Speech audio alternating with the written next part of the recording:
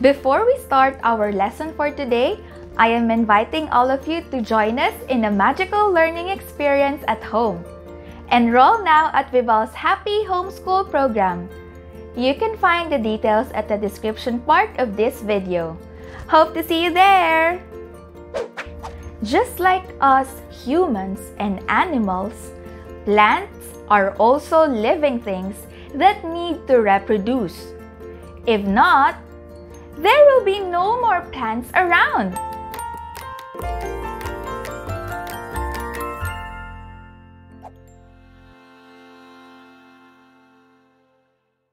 Hi everyone! Welcome to another episode of our Scienterrific Friday.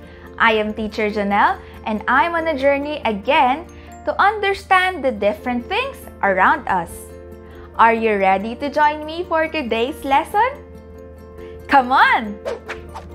I've mentioned that plants are also living things that need to reproduce. But how? Today, we are going to learn about the reproductive system of plants. In this topic, we will discover the following. How do plants reproduce? What are the different parts of the plant that aid its reproduction?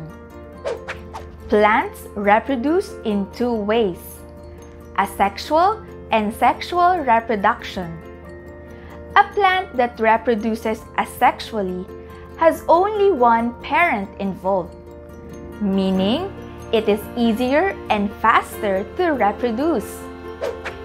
Parents and offsprings are identical, thus, it won't have varied appearances in color, height, and shape. An example of a plant that undergoes asexual reproduction is moss. If you have an aquarium, pond, or any moist environment nearby, you will see mosses grow fast and easy because of spores. Spores are the reproductive part of plants that asexually reproduce. When they mature, they fall to the ground and grow into new plants. Today, we will focus on the sexual reproduction of plants.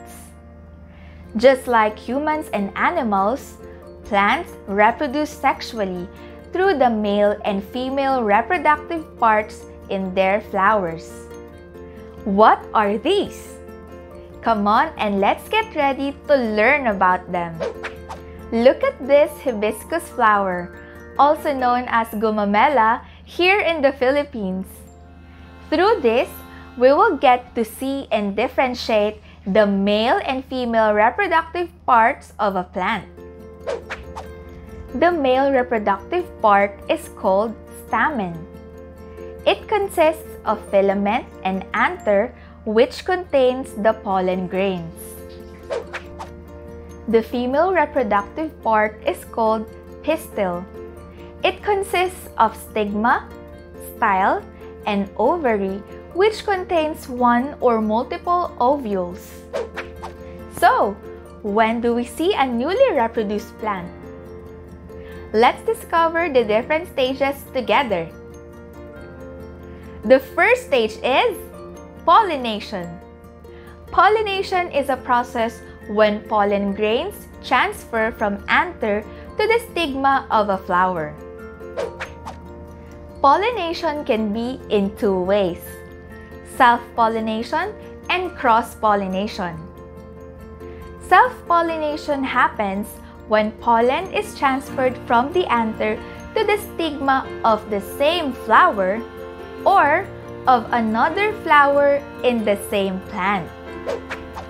Cross-pollination happens when a pollen is transferred from the anther to the stigma of a flower in another plant, but the same kind of plant. Cross-pollination from one plant to another plant of the same kind happens because of these important pollination agents such as birds, butterflies, and bees. The second stage is fertilization. It happens when the male gamete meets the female gamete inside the ovule. But how do they meet? Through pollination. When fertilization occurs, the fertilized ovule becomes a seed, and the ovary which holds the ovules becomes a fruit. Oh, this is why the fruits we eat have seeds, and we call them right ovules. But hep, we have seen the fruit, but where's the newly reproduced plant?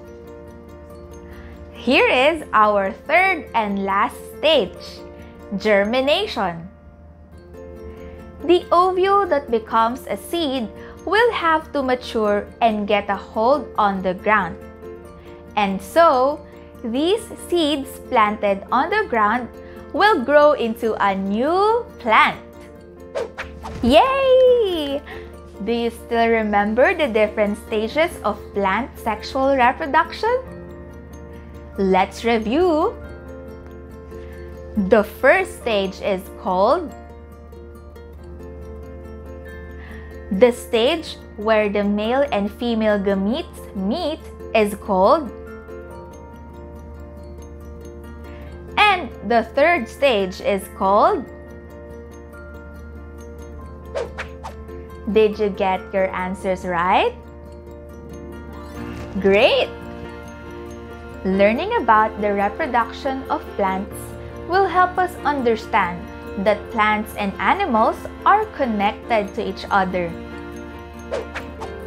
Through pollination agents like birds, butterflies, and bees, pollination occurs and can fertilize the plants and in time germinate and mature into another plant.